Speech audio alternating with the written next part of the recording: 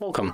In front of me I have Xiaomi Mi Smart Speaker and today I'll show you how we can find and then disable or enable this feature to this feature to let others control our cast media from the speaker. So I'm gonna close this one and right now we have to go for the Google Home app.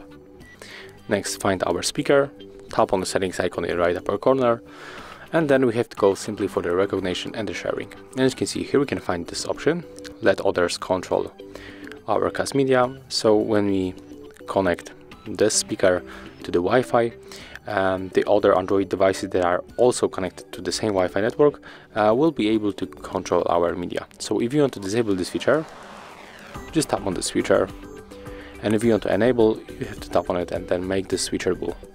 So that's how it looks. If you find this video helpful, remember to leave a like, comment and subscribe to our channel.